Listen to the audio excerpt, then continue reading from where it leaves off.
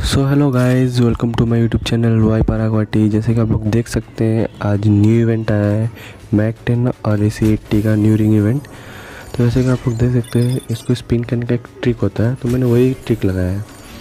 तो पहले देखिए, दस का स्पिन मैंने वेपन रॉयल में किया और गोल्ड रॉयल में दस स्पिन किया।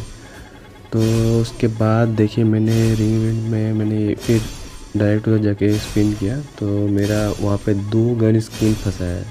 लिटरली दो। तो आप लोग भी ये ट्रिक इस्तेमाल कर सकते हैं। आप लोग इसको पहले ही मतलब 200-300 स्पिन तक आप लोग ट्राई करो।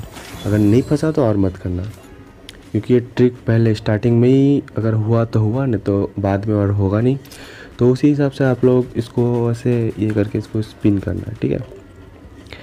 तो गाइज़ मैं आप लोगों को ये गन स्किन अभी इक्विप करके दिखा देता हूँ, ये कैसा दिखने में मेरे को दोनों गन स्किन जो भी मिला है, मेरे को वो अच्छा ही मिला है, मस्त। अच्छे एट्रीब्यूट के साथ। तो देखिए ये अगर गाइस वीडियो अच्छा लगे तो लाइक शेयर सब्सक्राइब कर देना गाइस बाय बाय